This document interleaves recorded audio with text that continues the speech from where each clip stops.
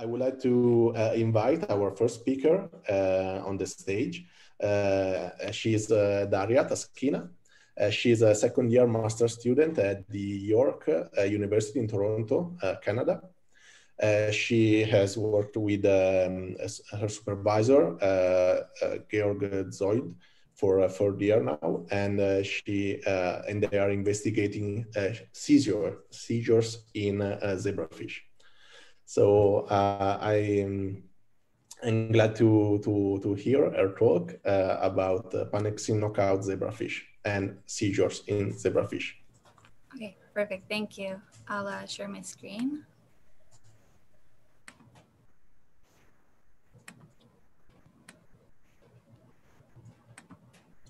Okay, all good?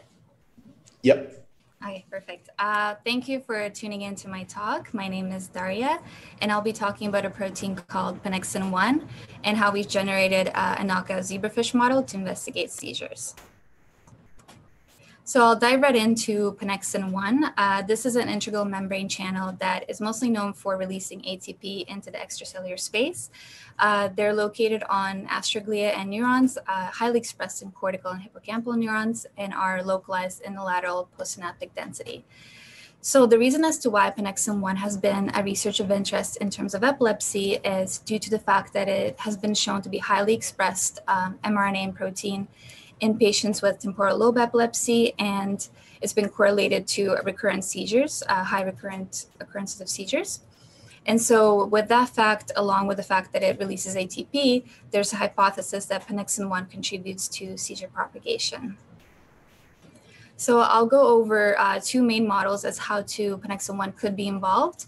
Uh, I won't go into the diagram too in detail, but essentially on the left here in the green, this is a model for when Pannexin 1 is um, helping to propagate seizures. So it has to do with a heightened concentration of glutamate and it creates a hyperactive excitatory loop.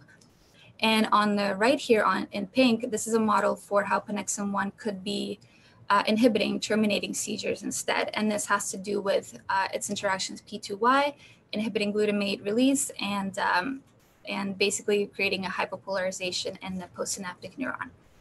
So there's two um, main models that are being um, looked at, and we're trying to find out which uh, model is more, um, which model Pannexin 1 resembles more. So we've done that in zebrafish. Uh, and to some of you, may come to a surprise, but actually zebrafish have been a very well established animal model uh, in terms of seizure investigations, and it is done by chemically inducing seizures in them. And so they show uh, behavior that is tonic and clonic like locomotion. So I hope you can see the video on the right here. This is sort of this involuntary um, jerking movement that they do, and then followed by loss of balance. Uh, so it's quite um, a widespread phenomenon that we see in um, larvae and adult zebrafish as well when you induce seizures in them. As well as electrophysiology, there's evidence of ictal-like events in their brain when you induce, uh, chemically induce. Uh, to, so to summarize, we want to see how Pannexin 1 contributes to seizure propagation, and we've done that in our zebrafish larvae. So we've created three models. Uh, we have our wild type, so that's our normal zebrafish, and we've induced them with a convulsant called PTZ. Uh, we also have a second model, which is a Pannexin 1 knockout. So here we genetically modified the fish to lack Pannexin 1, and we want to see how they would have their seizures instead. And finally, we have a third model, which is our wild type treated probenecid. Uh, probenecid is a Pannexin 1 blocker. So here we're looking at pharm pharmacologically targeting uh, Pannexin 1 and seeing how that might change things for them. Uh, we looked into it in three different ways. So we looked at behavior, uh, kind of like the video that I showed you. We're looking at uh, convulsive activity that they might exhibit. We're looking at transcriptional data. So here we looked at immediate early genes that have been associated with either epilepsy or stress response. So seeing how that might differ between our models. And finally, we looked into electrophysiology and we looked into local field recordings in their brain to see uh, in vivo. So this is actually a new model for Pannexin 1 in zebrafish uh, in vivo models. We're excited to see our results and I'll showcase some of them here today. Uh, so for the behavior, here on the graph, uh, the y-axis is their locomotion, and the x-axis is the time. So at the top, this is the Pannexin 1 deletion model. So we're looking at the blue line, which is our wild type being induced with PTZ. And the orange line is the Pannexin 1 knockout. So their base activity, which is the top left, uh, it's pretty indistinguishable. On the baseline, they don't really differ much in activity. But when it comes to when you treat them with PTZ, which is on the top right, you can see a spike in hyperactivity that lasts about an hour and then subsidizes. And you can see how the Pannexin 1 model is uh, that hyperactivity is reduced. This hyperactivity is indicative of those seizure-like events that we saw in the video. And at the bottom here, here we have a model for Pannexin 1 block. So what if we pharmacologically blocked it? And that's depicted in the dark blue line. So again, the baseline, obviously they're both wild type or indistinguishable. When you pre-incubate with probenecid, you can see a spike in activity, so they do react to the drug, but then that activity goes down to baseline. And once you add PTZ, you can see that the ones that have been pre-incubated with probenecid don't show the same type of spike in activity. Their activity goes down uh, quite immediately. Uh, we also looked at the immediate early genes using the real-time PCR. And uh, just to uh, reiterate, these genes are associated with either um, heightened their upregulation happens during either epilepsy or stress response. And we've seen that in terms of uh, deletion or blocking probenecid, these response upregulations are reduced. And this is a logarithmic scale. So let's say a hundredfold upregulation have been reduced to 50 or 30 in some of the genes. And for survival, we've seen that in the first 10 hour trajectory, the wild type and the Pannexin 1 knockout did fairly similar. And we can see the probenecid pre-incubated wild types are actually doing quite kind of bad in the first 10 hours. And we think that has to do uh, with probenecid potentially interacting with their metabolism and also the fact of adding two drugs might be uh, creating toxicity effect for them as well. But it's interesting that after 24 hours, we've seen that pre-incubated with probenecid, they're actually doing the best and followed by Pannexin 1 knockout and then uh, wild type.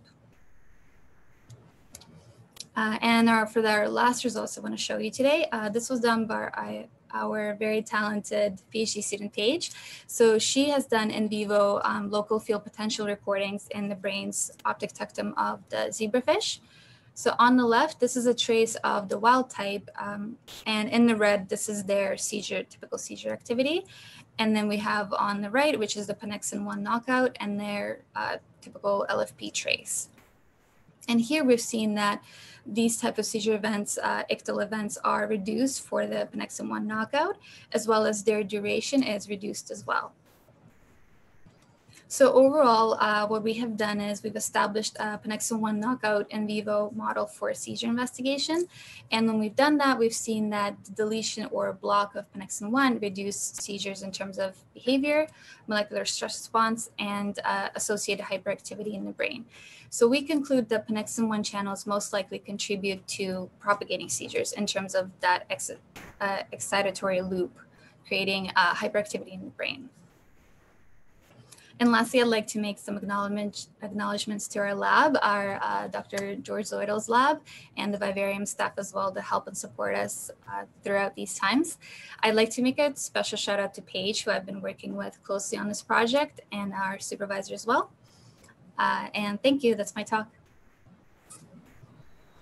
Thank you, thank you very much, Daria, for, uh, for the great talk and uh, the insights that, that you gave us. So uh, if the um, if we have questions from uh, our attendees or also from uh, our speakers, other speakers, they are also welcome to to ask um, to ask questions. Just use the uh, the Q and A uh, the Q and A box. Um, otherwise, I have uh, in the meantime I have um, kind of curiosity about um, how you how you measure the um, LFP uh, in uh, in zebrafish. So uh, if it's a kind of invasive or uh, if you just measure the, the in the water. Uh, so actually you put them, because they can't be really moving while you're recording, otherwise you'd have a lot of uh, movement artifact, you'd put them in agar and then you put water on top. So they, uh, they're not really, they can survive for hours in that type of medium. And then you uh, put the electrode in and it's quite, it looks thick, but it's actually very, very thin. So it's not, even if you pull out the fish's uh, circulation is fine and it's not really going to affect the fish as much. Um, and we're recording the extracellular from the extracellular space. So it's a pool of um, activity that we're looking at. Okay, okay, I see. Okay. And um, let's see if we have, uh, okay. Uh, I, we, we have a question from Silvia. Uh, yeah, the, the, the speakers cannot uh, ask question in the Q&A. Um, uh, Silvia is asking um, how old were the zebrafish larvae? Uh, sorry, how old they are? Uh, the zebrafish uh, larvae. Oh yeah, so they're seven days old at this point. Okay, perfect. Okay, so uh, thank you, uh, thank you again, Daria, for uh, for your talk and for answering our our questions. I think we can uh, uh, we can proceed and we.